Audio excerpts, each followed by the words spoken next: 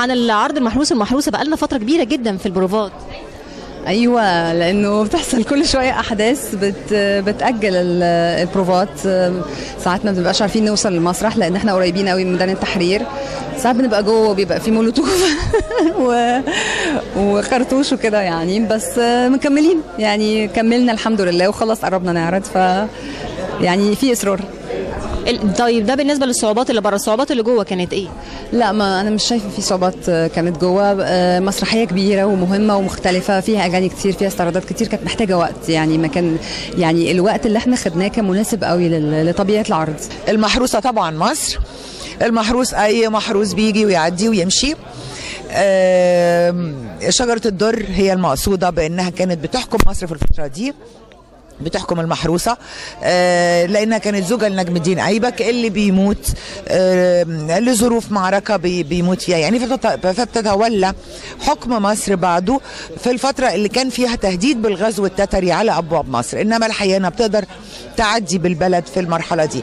أستاذ أبو العلا السلموني عامل طرح جميل جدا جدا للفترة دي. فترة قصيرة قوي من حياة شجرة الدر إحنا مش واخدين كل حياة شجرة الدر إحنا واخدين الفترة دي اللي قدرت تعدي بيها في مصر رغم الصدام اللي حصل بينها وبين المستعصم بالله اللي كان وقتها خليفة المسلمين. عرض آه، محفوف بالمخاطر من كل اتجاهات حتى مكان العرض نفسه. قول لي نفسيا وعمليا بتتعامل إزاي مع المخاطر دي؟ والله هو الموضوع يعني على مصر كلها يعني المخاطر دي في كل حتة مش عندنا هنا بس.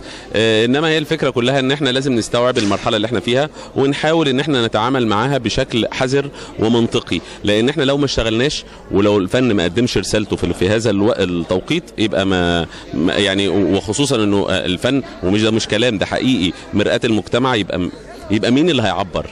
الإعلام عليه دور. الرياضة عليها دور الفن عليه دور. لو أنا ما قمتش بدوري دلوقتي هبقى بهرب وأنا ما أحبش ده. أنا على, الرغم إن أنا من فترة كبيرة مش حابب إن أنا أ- أ- أ- لأن أنا ممثل في الأول في الآخر. ولكن الظروف هي اللي خلتني أعاند إن أنا أعمل حاجة. الدور فيه إمكانيات هايلة جدا جدا جدا. تتنوع ما بين الكوميديا والتراجيديا وما بين التمثيل وما بين الشخصية الحقيقية. و... يعني إيه دور ثري مليان؟ يعني أرجو إن أنا أوفق فيه. المخرج مفيش حد سألت عليه وقلت له إيه رأيك في شادي سرور الا لما يتحمس حماس رهيب؟ فأيقنت أنه مخرج عظيم وكان فعلا عند حسن ظني عظيم وأعاد إلي عملي وأنا صغير في المعهد مع الرائع المبدع كرم مطاوع. هذا الولد خليفة لهؤلاء الناس العظماء.